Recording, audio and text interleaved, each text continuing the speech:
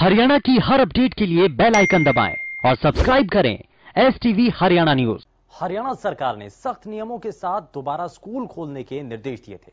लेकिन महेंद्रगढ़ ज़िले में निजी स्कूल संचालक हरियाणा सरकार के नियमों की सरेआम धज्जियाँ उड़ा रहे हैं।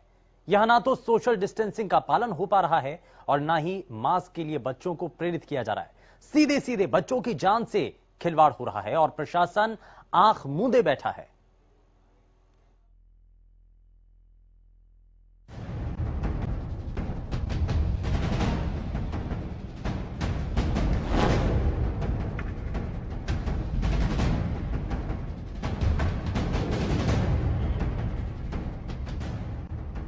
कोविड काल में बंद हुए स्कूलों को करीब एक साल बाद सरकार ने नियमों के साथ खोलने की इजाज़त दी।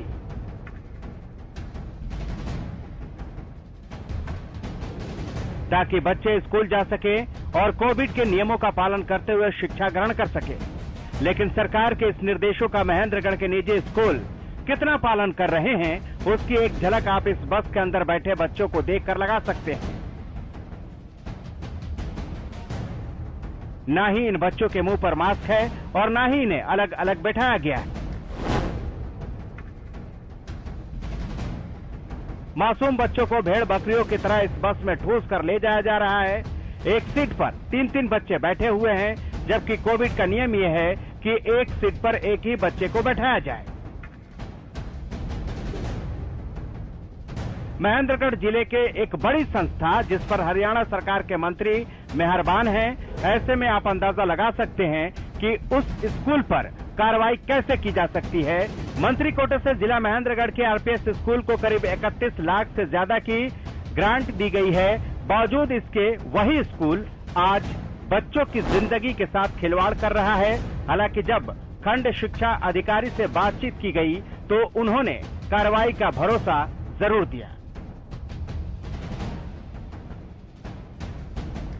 ओवर क्राउड तो कहीं भी हो, बच्चे के लिए जो है ना, ये कहीं भी अनुमति नहीं है, चाहे बसेज की हो, चाहे क्लासेज की हो। अगर ऐसी कोई हमारे सामने आएगी तो निश्चित रूप से उस स्कूल को बुलाकर एसओपी उसके खिलाफ एक्शन भी लेंगे और एसओपी का पालन करवाएँगे। बीच में थोड़ा सा निश्चित रूप से सारे समाज में थोड़ा सा इसमें ढीलापन आ गया था, लेकिन अब तो बहुत टाइट है मास्क के लिए।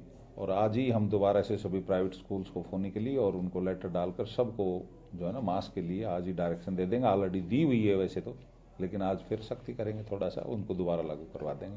एसओपी के तहत जो नियमों के उल्लंघन के तहत उसके खिलाफ केस दर्ज किया जा सकता है और हमने किया भी है एक आदि स्कूल के लिए। अब जिस स्कूल पर बड़े मंत्री का हाथ हो, वो भला क्यों डरेगा? और उसकी अकड़ कह लें या किसी का डर न होना कह ले ये सारी चीज़ें इस बस में दिखाई दे रही है। जिला शिक्षा अधिकारी कार्रवाई की बात तो कह रहे हैं, लेकिन सवाल यह है कि क्या ये तस्वीर देखकर जिला शिक्षा अधिकारी साहब जल्द कोई एक्शन लेंगे या फिर स्कूल?